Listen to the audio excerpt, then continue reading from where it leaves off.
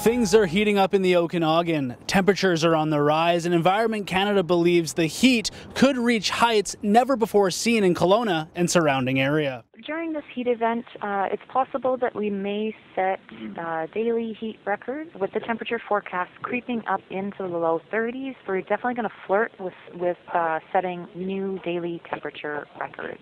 We're looking at daytime high temperatures anywhere from about 10 to 12 degrees above normal. The forecast calls for a high temperature of 32 degrees on both Sunday and Monday, so Environment Canada is reminding people to be prepared for the heat. It's really good for people to practice um, sun and heat safety, stay hydrated, you know, get out the, the sunglasses, the hat, the sunscreen.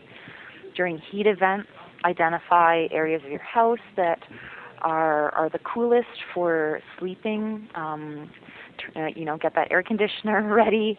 If you don't have access to air conditioning, um, seeking out cooling centers that are close to you in order to, you know, go inside and get some relief from the heat as we move through this heat event. With little chance of rain on the way, Environment Canada expects things to stay hot following their seven day forecast. There's still quite a bit of forecast uncertainty as to how long um, the heat event will last. Uh, right now, we're looking at peak temperatures sort of late this weekend into early next week.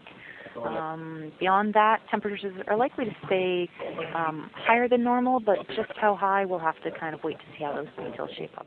The warm weather is expected to further impact the rising water levels in creeks, rivers, and lakes throughout the Okanagan. So if you have plans to go out on the water this weekend, you should use extra caution. I'm Braden Ursel in Kelowna for Castanet.